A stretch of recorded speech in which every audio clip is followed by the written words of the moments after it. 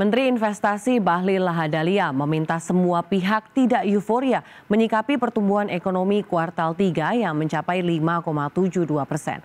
Capaian pertumbuhan ekonomi kuartal 3 diakui tidak bisa jadi tolak ukur dalam menghadapi ancaman resesi global pada tahun depan.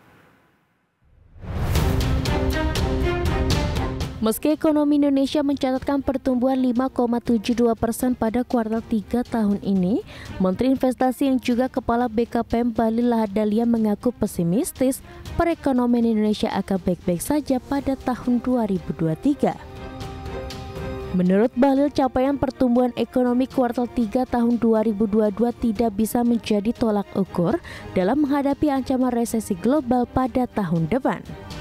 Balil meminta semua pihak tidak euforia menyikapi pertumbuhan ekonomi kuartal 3 yang melampaui pencapaian kuartal sebelumnya dan menganggap tidak ada tantangan ekonomi yang dihadapi di masa mendatang.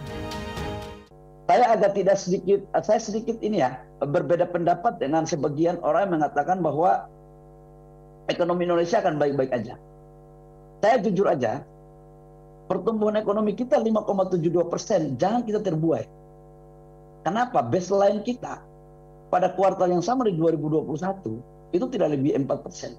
3,9 sekian, nggak sampai 4 persen.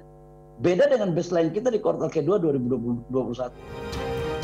Bahlil meyakini pertumbuhan ekonomi pada kuartal 4 tahun ini masih akan menghadapi sejumlah tantangan bahkan hingga tahun depan apalagi jika kondisi global tidak kunjung membaik. Dari Jakarta, Tim Liputan IDX Channel.